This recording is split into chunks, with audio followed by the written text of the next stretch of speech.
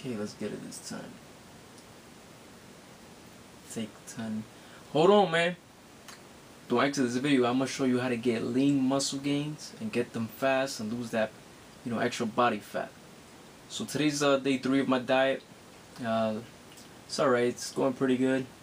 Uh, running out of fish. Just got one more fish left, and I'm I'm gonna be stuck with uh, some sirloin steak for tomorrow.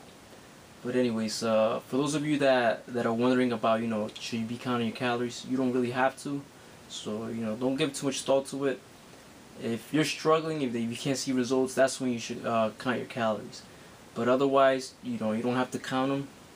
Uh, as long as you're seeing results, you don't have to count your calories or your macros. I don't count them. It's an option. If you if you want to, you could. If you if you don't want to, you don't have to. But if you know if you're struggling with the meals, just remember you can always have carbs whenever you want. Uh, I'm just doing the, the diet more difficult. Just the fact that I want to get you know it's like uh, six percent or five percent. I want to get as lean as possible. So my diet, you know, is it's going to be a lot more strict. But if you want to lose a lot of like maybe 10 pounds, 20 pounds in this month, um, just try to follow me through the, the whole diet and you will lose a lot of fat.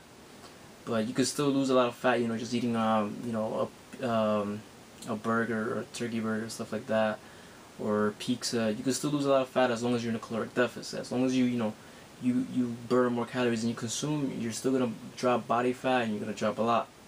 Just uh, have to be in a caloric deficit. But try to follow my diet, you know, as much as you can, just so you can see results. And remember, uh, if you if you're struggling with uh, with results, try to count your calories. It's gonna help. It's gonna help a lot. But anyways, this is my um, it was my chest day today, and I have just a little a, a few clips, and I'm gonna post it right now. Anyways, yeah, later. Bye. Subscribe.